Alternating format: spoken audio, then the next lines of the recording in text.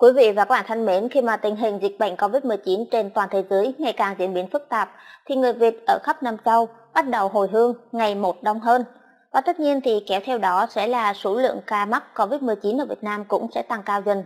Để ngăn chặn tình trạng dịch bệnh lan rộng thì chúng ta đã cách ly tất cả những ừ, người Việt trở về từ những vùng có dịch. Khi mà phần lớn mọi người đã có ý thức chấp hành tốt về việc cách ly thì cũng sẽ có một số thành phần không có ý thức đã cố tình khai gian dối để trốn cách ly.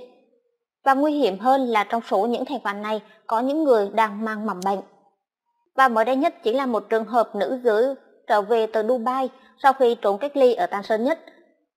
Cô đã trở về Vũng Tàu và sống cùng với bạn trai, thế nhưng mới đây cô đã bắt đầu có những biểu hiện của COVID-19. Lại thêm một trường hợp thiếu ý thức trốn cách ly, sau đó thì phát bệnh, khiến cho cả khu phố phải bị phong tỏa.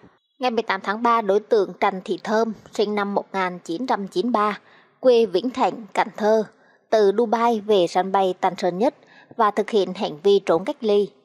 Ở Vũng Tàu, đối tượng ở Lê Quang Định, phường Thắng Nhất, rồi chuyển qua đường Đô Chiểu, phường 3, thành phố Vũng Tàu. Tới 26 tháng 3, đối tượng có triệu chứng sốt, ho, đau họng, nhức đầu, tức ngực. Theo khai báo thì chị Thơm có một cơm ở đường Trương Công Định, gặp chủ nhà trọ và một thợ sửa máy lạnh không rõ họ tên.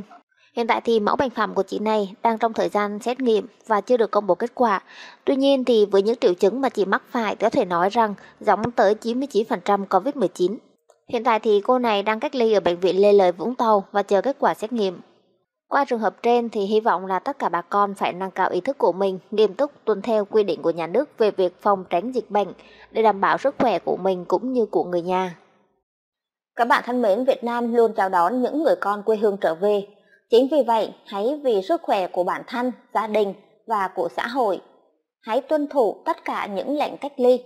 Nếu như lỡ trường hợp mà bạn đã khai báo gian dối và trốn cách ly tập trung, thì hy vọng là các bạn sẽ có được ý thức chấp hành những cái quy tắc cách ly tại nhà để cho dịch bệnh không lan rộng ra cộng đồng.